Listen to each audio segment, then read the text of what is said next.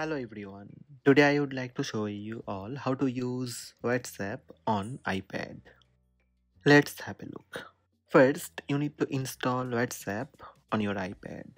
Open App Store, tap search button on top right. Search for WhatsApp and hit WhatsApp. Tap WhatsApp Messenger, WhatsApp for iPad. Connect on a large screen. Tap Get button to download WhatsApp on your iPad. When WhatsApp downloaded, you can tap Open or go to home screen and tap WhatsApp Messenger. Welcome to WhatsApp. Tap Continue. Log in to WhatsApp. Scan this QR code to link an existing WhatsApp account with this device.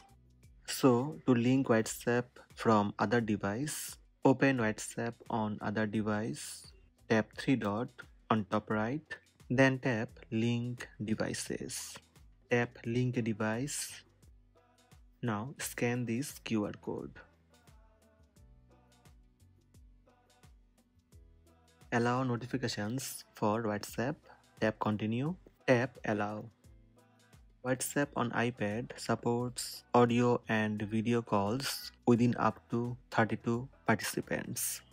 Utilize both front and back cameras. Screen sharing during calls. Compatible with Stage Manager, Split View and Slide Over. Supports iPad OS 15.1 or later. So these are the steps to active WhatsApp on iPad. Hope this video help you. Please subscribe my channel by tap subscribe button. Also tap the bell icon to receive notifications about all new videos.